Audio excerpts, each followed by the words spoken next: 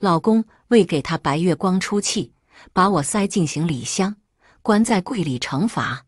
五天后，他终于想起要放我出来，不料眼前一幕却让在场所有人吓傻。老公的青梅被困在电梯夹层半小时，他暴怒之下把我塞进行李箱里，锁头拉死。嗯嗯，受过的罪，你要双倍承受。我蜷缩着身子，呼吸困难，流着泪认错，可换来的却是老公冷冷的责怪：“好好受罚，有了教训，你才能学乖。”他把装着我的行李箱锁进了衣柜里。我绝望的嘶吼、挣扎，血溢出了箱，浸湿了地板。五天后，他一时心软，决定结束惩罚，小惩大戒。这次我就先放过你，可他不知道，我的尸骨早已腐烂的模糊不清。那个杜父这几天怎么没来闹事？学乖了，懂规矩了，还是得要给他些惩罚，他才能懂事。他身边的助理突然脸色一滞：“老板，苏小姐，她她好像还没有被放出来。”傅行舟的眼神有一丝颤抖。他迅速压了下来，再反省几天也没事。他身旁的助理多次欲言又止，最后还是迟疑的开口：“老板，禁闭苏小姐的房间散发出了难闻的臭味，你要不要去看看？”傅行舟的声音迅速冷淡：“臭，臭是正常的。她这种不顾一切也要苟活的女人，为了能保障自己身体机能。”肯定屎尿都不放过，统统在消化了，怎么会不臭？助理还想说些什么，却被傅行舟打断了。他皱了皱眉，满是嫌恶。好了，别说了，明天我会放他出来的。这几天下来，他也该乖顺懂事了。等他出来，好好给恩恩道个歉。这件事我就当做翻篇。他话音刚落，林尚恩赤着脚。走了进来，傅行舟眼神瞬间温柔。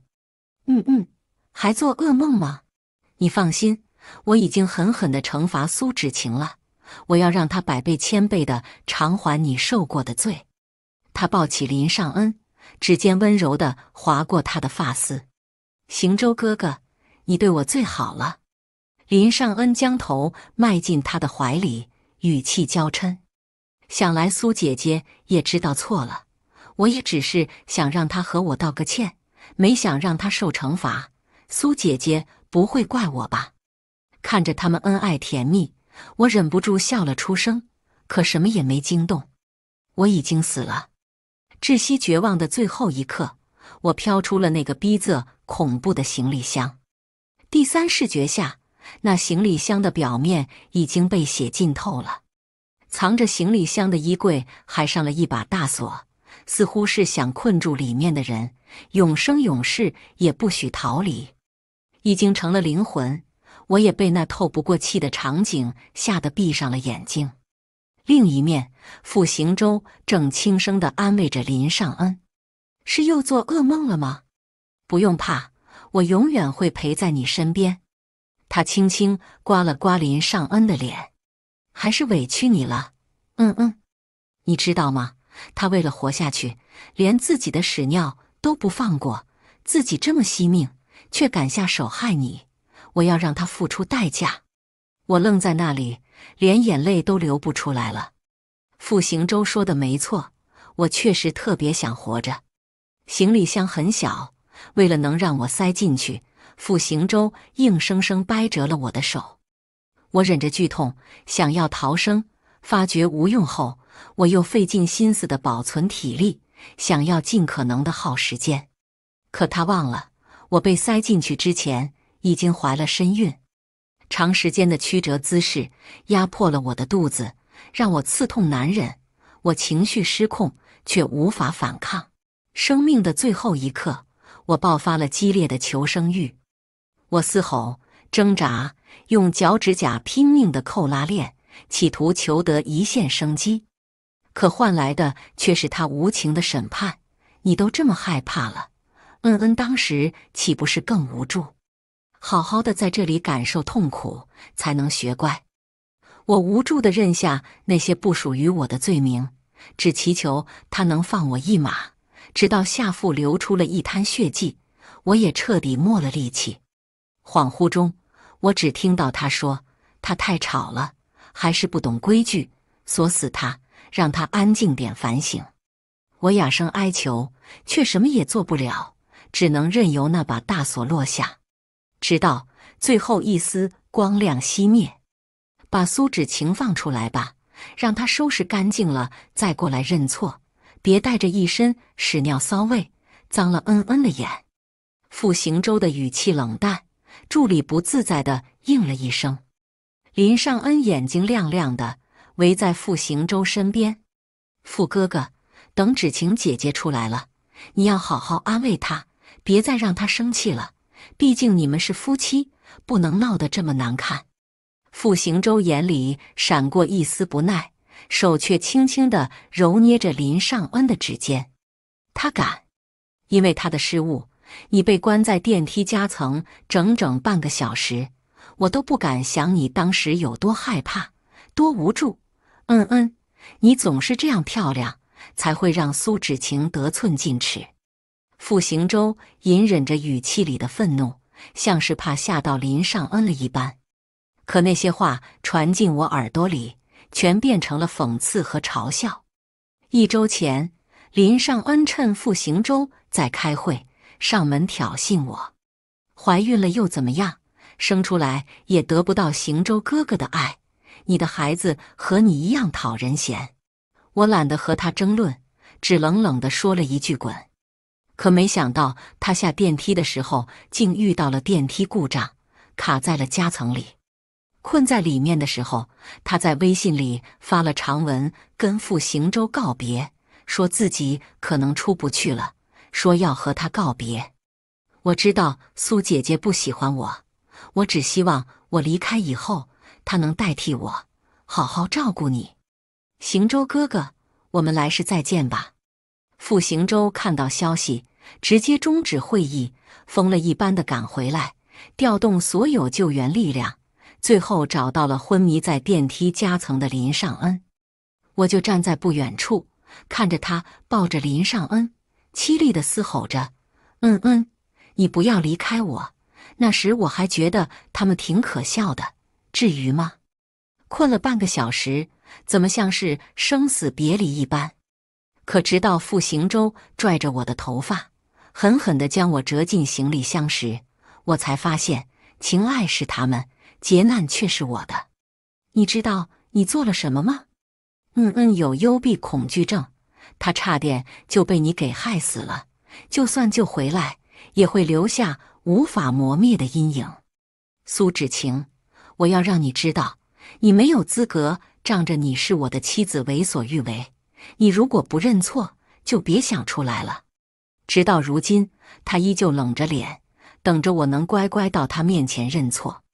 只可惜他不能如愿了。老板，老板，苏小姐，她，她已经没有生命迹象了。傅行舟愣了一下，我仔细的观察着他的反应，以为他至少会为我动容几分。可他只是无所谓的笑了笑，装，继续装，祸害一千年，他能有这么容易死？死了就直接打火葬场电话，把他拉去烧了。这么爱装，就让他知道装死的代价。傅行舟用指节轻轻的敲了敲桌面，声色淡然，去告诉他，半个小时之内不能收拾干净，自己过来，我就继续惩罚他。直到他不敢再闹幺蛾子为止。助理站立着，想说什么，却被傅行舟怒斥：“还愣在这？你也想被惩罚吗？”他搂住林尚恩，温柔的对他开口：“嗯嗯，等会你可不要再心软了，必须要硬气一点，让他再吃点苦头。我会让他跪下给你道歉，那是我对他的惩罚。你千万不能心疼他。”林尚恩看起来格外于心不忍，行舟哥哥，我连恨都恨不起来了。可不知为何，我的灵魂像是被禁锢了一般，无法逃离，只能被迫的看着傅行舟骂我、笑我。这是我爱了十年的人啊！高中三年，大学四年，毕业后的恋爱、结婚又三年。可我不知道的是，他从头到尾都只把我当做他的污点。我像跟屁虫一样跟在他身后整整七年。我以为我的真心会融化冰山。他答应我表白那天，我开心的一晚上没合眼。可我不知道的是，他娶我只是因为他的公司资金链断裂，需要我提供资金扶持。嫁给他的两年里。我倾尽全力支持他的事业，也费尽心思照顾他、讨好他。他也一点一点的改变，会等我回家，我给我做早餐，会在我肚子痛的时候轻轻的给我按摩。我差点就以为是我赢得了他的爱。我知道自己怀孕的那天，激动的围着他绕圈圈，可他却冷得不像话。苏芷晴，你说你怀孕了？我没有听出他话里的质疑，天真的点头。呵，可是我若惊，根本怀不上孩子。这个孩子从哪来的？你自己心里清楚。我笨拙的做了很多证明自己的行为。我将医生的话转达给付行舟，告诉他，等九周过后稳定下来，可以查的。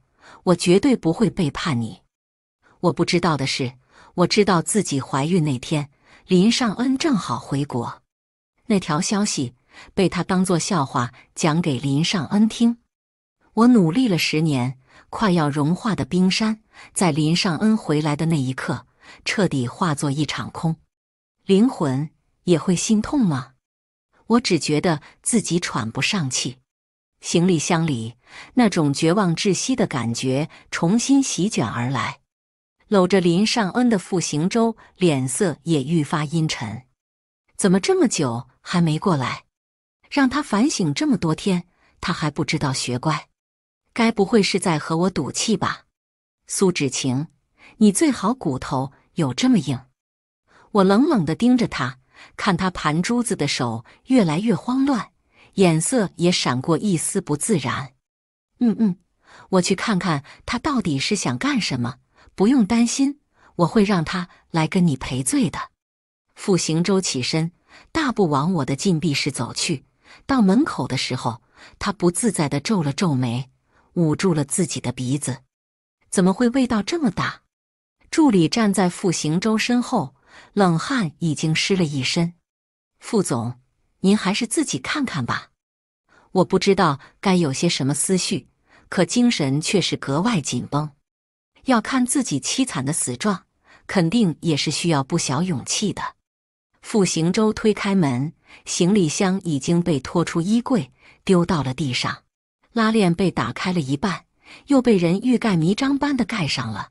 傅行舟盯着那个行李箱，带着几分不爽：“苏芷晴，放你出来，你还不出来？准备一辈子在行李箱里过了是不是？是我不想出来吗？”明明我到死都在努力，只想再看一眼阳光，可再也没机会了。还在闹什么小性子？给脸不要脸了是吧？他走到行李箱身边，浓烈的臭味让他眼睛都睁不开，可他依旧我行我素，抬起脚踹在了行李箱上。这么臭，还不赶紧去收拾自己？你想恶心谁？他用的力不小，行李箱。被他踹翻，盖子也被彻底打开。毫无防备下，我直面了自己的骇人姿态。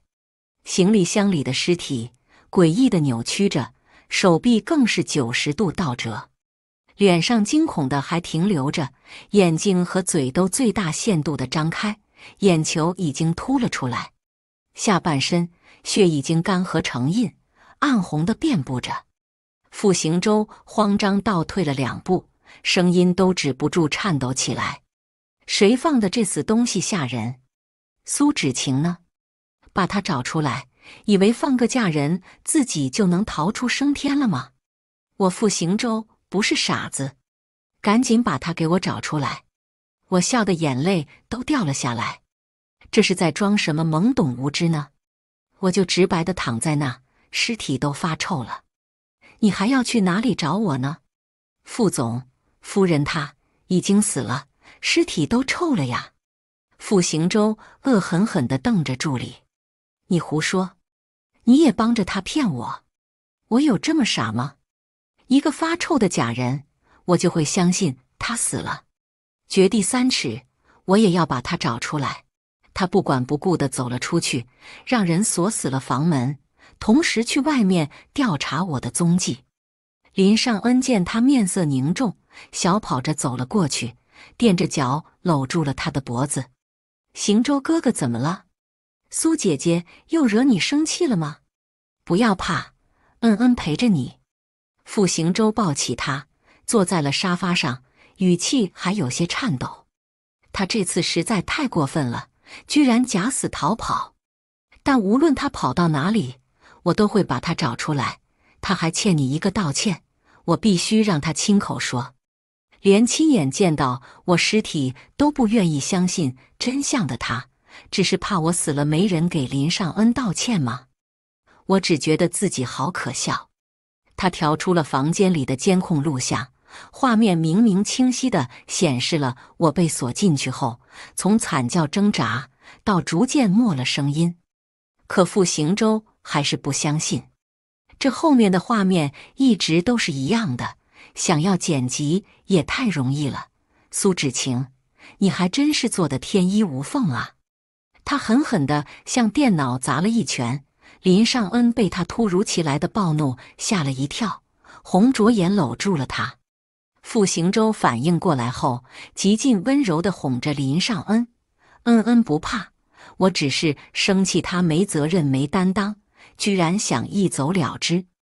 你别担心，在你生日前。”我绝对能把他抓回来，到时候我要让他当着所有人的面给你下跪道歉。林尚恩眼里满是得意，在傅行舟额头上落下一吻，蜻蜓点水一般，却让傅行舟直接羞红了脸，连我都有点不好意思了。真是抱歉啊，我也不是故意想偷窥你们的幸福的，我其实一直知道林尚恩的存在。一开始喜欢傅行舟的时候，我就知道，那是他的朋友圈背景，就是是他和林尚恩的童年照。照片里，小小的林尚恩对着镜头笑得明媚，而他看着林尚恩，眼里的喜欢藏也藏不住。喜欢一个人是那样的直白又张扬，和我一样。我找了很多关系打听。得知了林尚恩已经有了男朋友，我这才安下心对付行舟展开攻势。我做梦都希望那明目张胆的偏爱也会倾斜向我。他向我告白那天，特地换了朋友圈背景，改成了我一个人的童年照。我激动的一夜都没睡着，反复的刷着他的主页，截图留存，向所有朋友得意炫耀。闺蜜笑我恋爱脑，我没反驳。傅行舟他对我很特殊。高中我被校园霸凌，被堵在小巷子里，他穿着发白的衬衫挡在我面前，少年意气对我来说像救世主降临。我小心地拽着他的衣角，在他的庇护下，终于的见天光。我没法不喜欢他，即使他一次又一次的告诉我，我只是顺路。对你没别的意思，我甩了甩马尾，什么也不在乎。可我对你有意思。我见过他去隔壁的艺术高中接林尚恩放学，哭了一整晚以后，我鼓起勇气问他：“那个女孩是你女朋友吗？”他过了很久才回复我：“林家妹妹，怎么了？”我已经数不清有多少次情绪被他轻易的左右。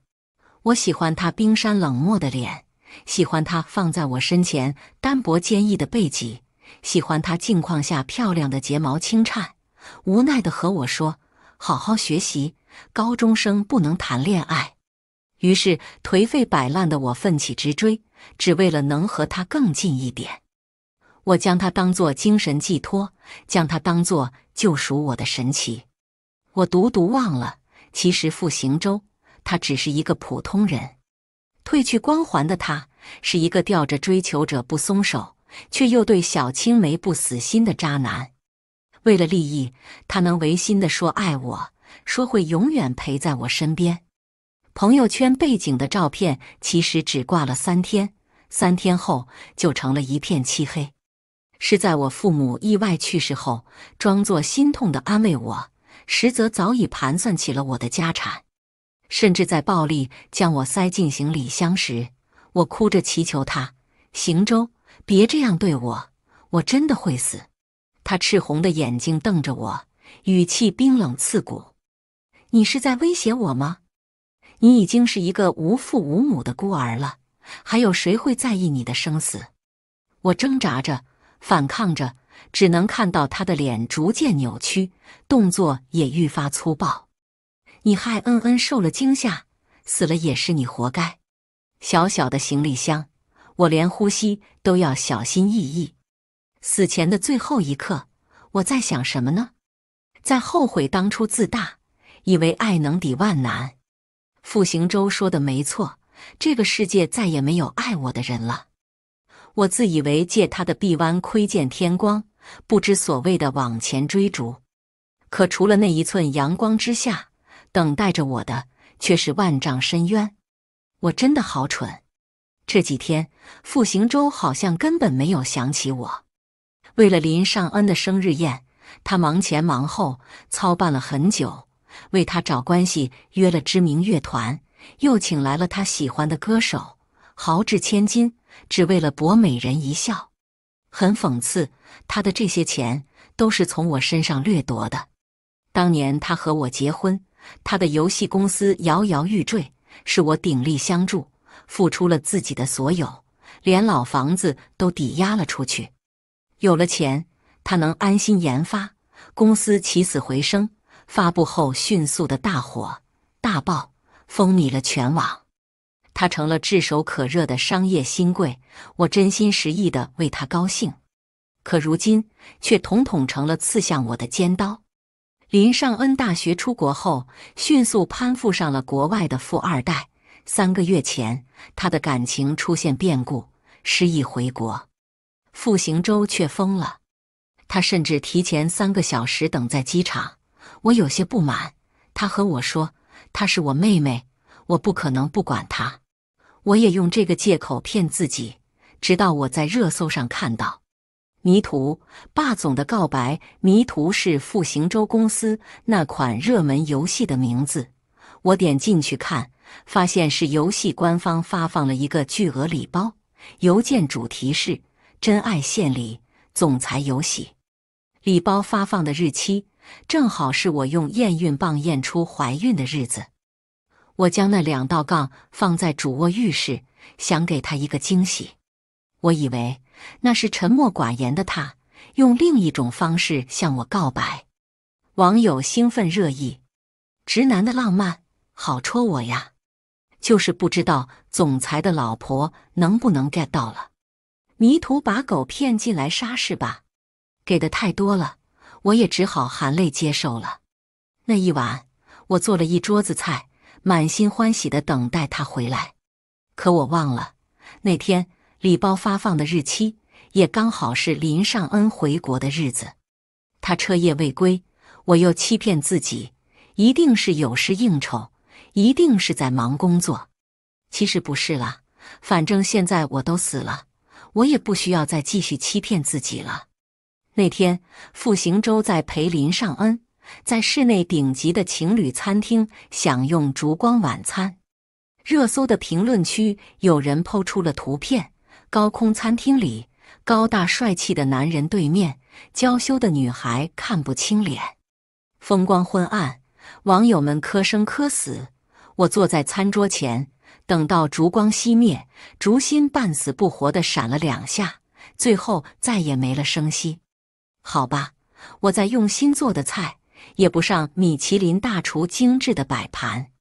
就像如今，我是阴沟里发烂发臭的老鼠，而林尚恩站在金碧辉煌的舞台中央，精致的皇冠衬得她像公主一样高贵。谢谢富哥为我准备的生日宴，只可惜今天还有些许遗憾，嫂子没能过来。生日愿望，我想让富哥永远幸福，让嫂子对富哥好一点，不要再欺负富哥了。礼花炸开，彩带散落，挂在林尚恩的头发上。傅行舟宠溺地摸了摸他的头，为他剪下彩带，笑着问他：“为什么不给自己许愿？”林尚恩笑得开怀：“我只希望你好。”傅行舟还没有放弃寻找我，他调动了大批人力，下了命令，说：“活要见人，死要见尸。”我好想笑，又不是没见到，装什么呢？生日宴结束，傅行舟有几分醉了。他搂着林尚恩，语气有些愧疚。苏芷晴不知道躲到哪去了，没能抓着他当众给你道歉，让你受委屈了。等我抓到他，我一定让他给你补回来。林尚恩娇娇柔柔，不用了，行舟哥哥，有你对我好，我已经很知足了。芷晴姐姐也只是吃醋，想让我知难而退而已，我没资格怪她。他这几天不在，肯定是有自己的事要忙。哥哥，你也不要对他太凶。我也是女人，我心疼。傅行舟叹了一口气，揽着林尚恩的手更紧了些。你为什么总是这么懂事呢？可让我意外的是，他今晚居然借口有事，把林尚恩送回家后，他开车赶往公司里，走到了我禁闭室的门口。这一整栋大厦。都是傅行舟买下来的，里面有一半是我的股份，现在却成了我葬生的坟场。位于顶楼角落的禁闭室，本来是用于堆放杂物的。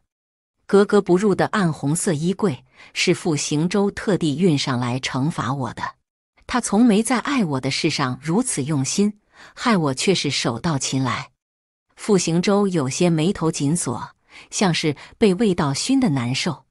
他停在了门口，手放在开关上，迟迟没有落下去。苏芷晴，要是被我发现真的是你在搞鬼，我绝对不会放过你。他止不住的干呕，像是下了很大的决心，推开了门。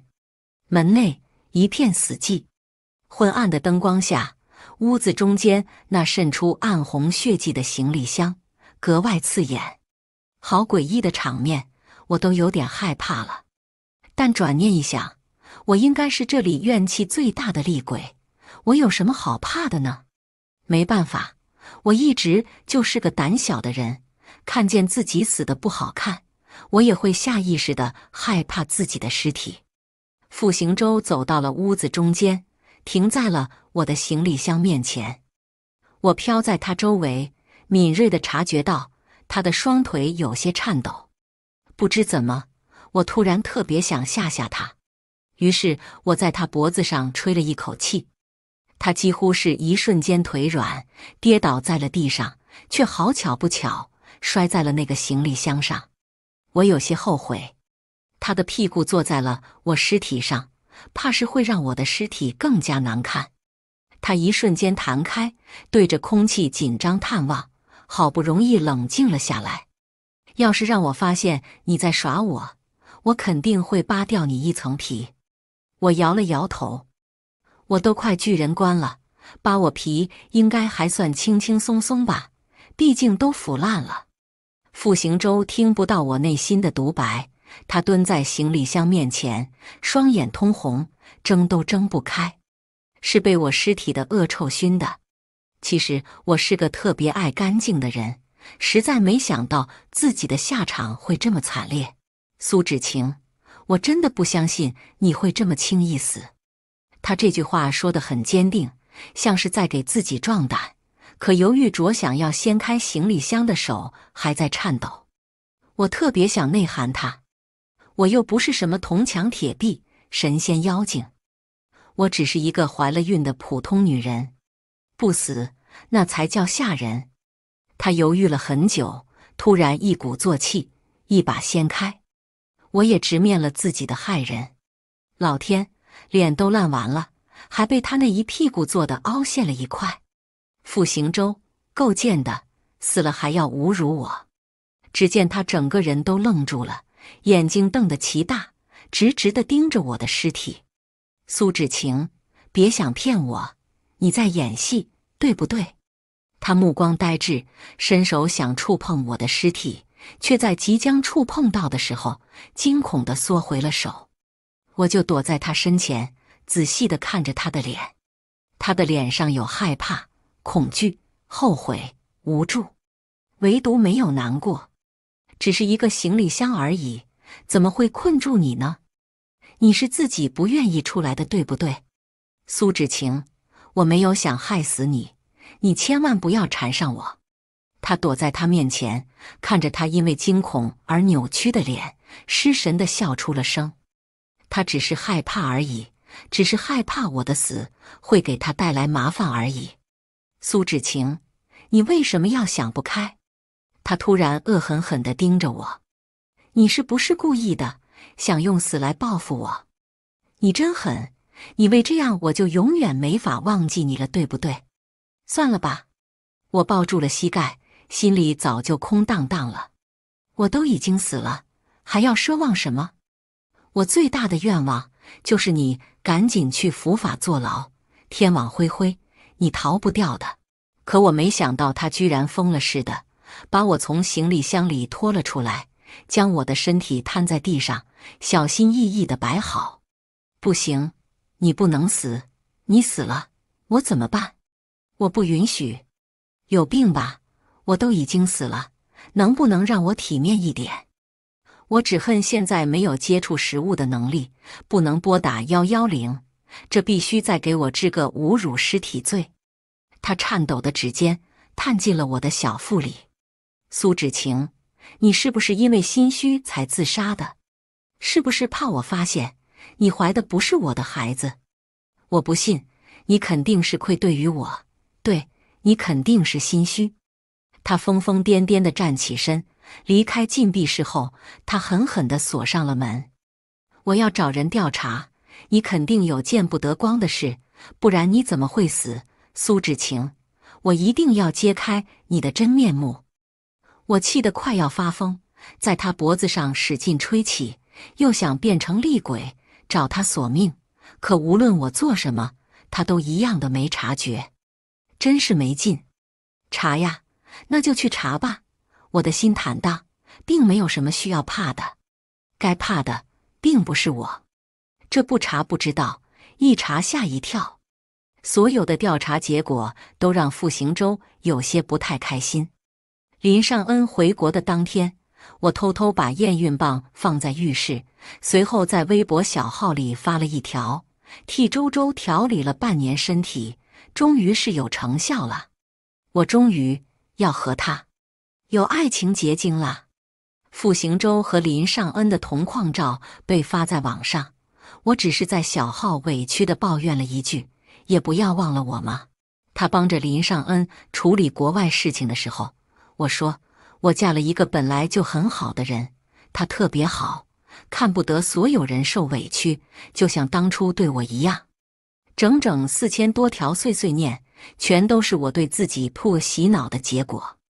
与此同时，他请的私家侦探调查出，林尚恩回国之后和国外前夫的联系并没有断，甚至主动联系过许多次，聊天内容格外露骨。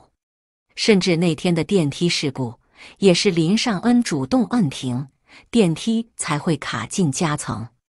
桩桩件件。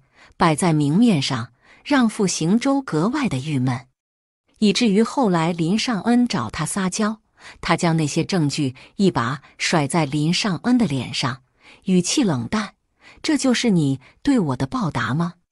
林尚恩故作娇柔的脸都快绷不住了，嘴角难堪的颤抖了几下后，他哑声说道：“我也是太爱你了，才会做出这种傻事，行舟哥哥。”傅行舟难得暴怒，高高抬起的手却始终没有删下去。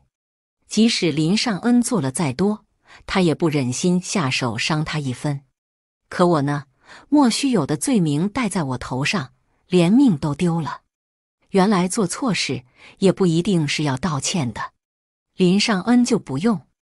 我自嘲的摇了摇头，只觉得心底烦躁。行舟哥哥，事已至此，我们一起出国吧。我在国外有人脉，我会保护好你的。傅行舟沉默了一会，低下了头。凭什么？我发了疯似的在屋子里翻腾，可无论我怎么弄，都无法改变些什么。那种绝望无助的感觉卷土重来，身上的痛感也逐渐激烈。为什么鬼也会痛呢？坠疼的下腹，曲折的手臂，一下又一下，沉闷的重击。我是真的不甘心。十年真心换来一朝枯骨，我是真的不甘心。我悲愤的嘶吼着，感受灵魂奔涌不息的灼伤感，心底只有一个执念。我要他，他为我的死付出代价，为我未出世的孩子付出代价。一阵狂风暴雨席卷而过，吹倒了我藏在书架上的笔记本。笔记本被散开的那一页，正好是二十二岁的我嗔怪写下的：“如果谁先背叛了，谁就下地狱。”这句话下面，傅行舟的字迹飘洒飞扬。好。那一年，他与我告白，说未来的日子换他跟在我身后当跟屁虫。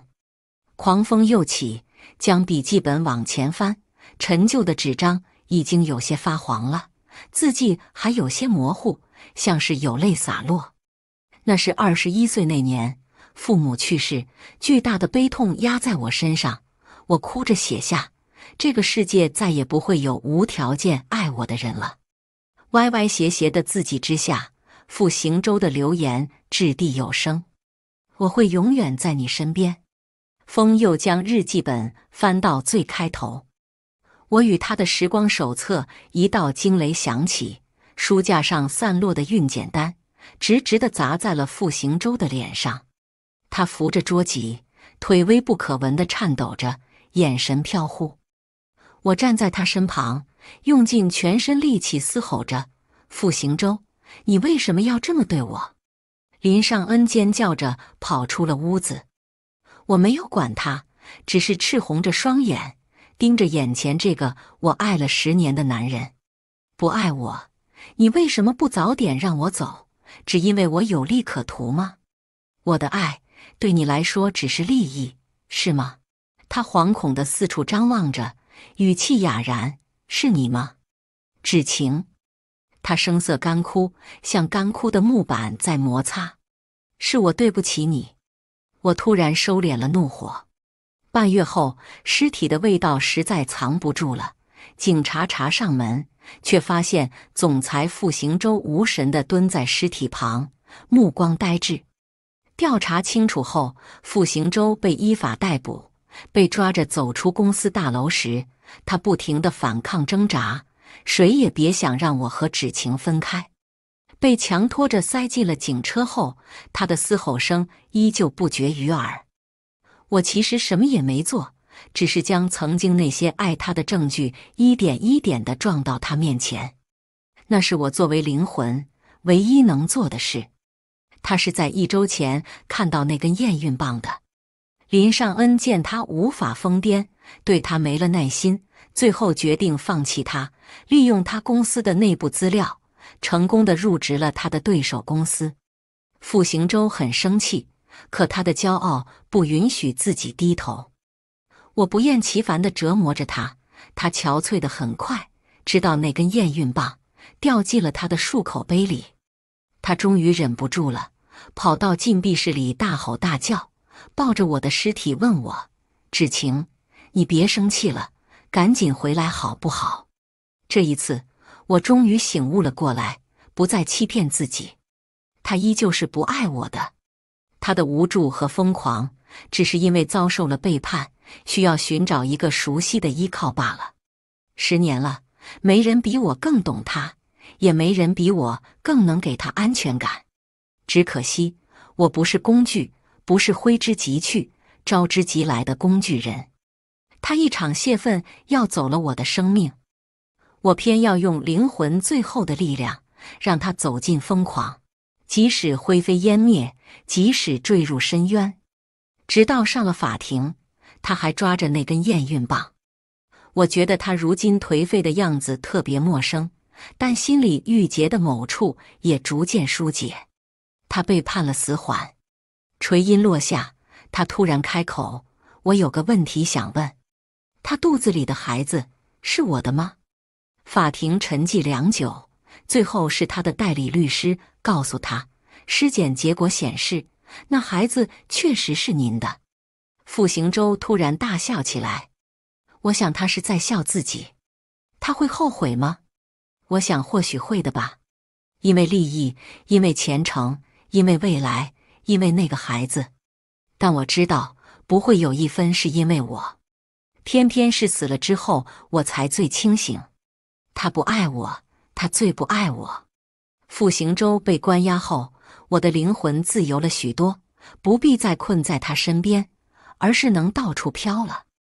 我费了点小力气，将林尚恩真正的关进了电梯夹层。手机没有信号，他惊恐的呼救。我在他的身后不停的吹气，最后他被吓晕在地。我分不清是真的还是假的。觉得有点无聊，我就走了。我的身子愈发轻飘，我自己也有些预感。